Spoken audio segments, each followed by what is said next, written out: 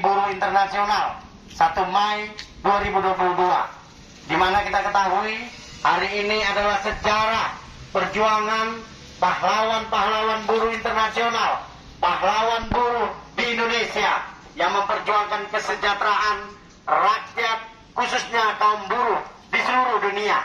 Di mana kita ketahui dulu kaum buruh itu kerjanya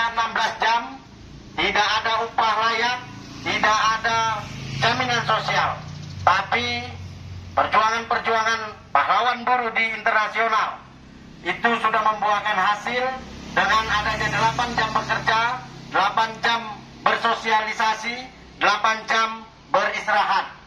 Untuk itu, di Hari Buruh Internasional ini, kaum buruh Indonesia juga masih jauh dari kesejahteraan. Betul tidak kawan-kawan?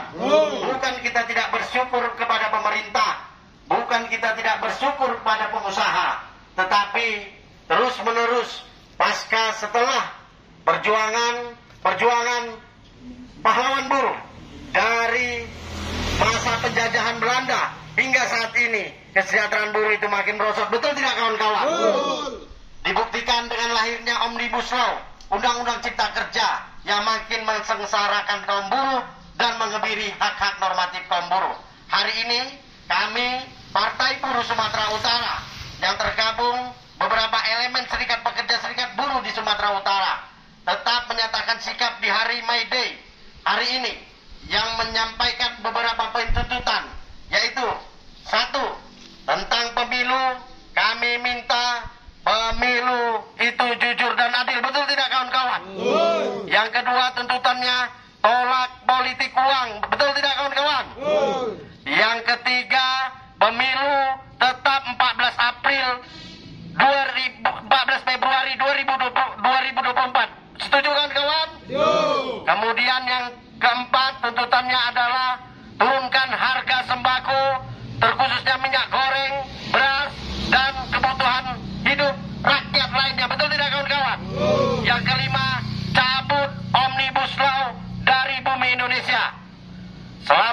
Buruh Internasional kepada buruh seluruh Indonesia. Semoga buruh sejahtera. Partai buruh akan mewujudkan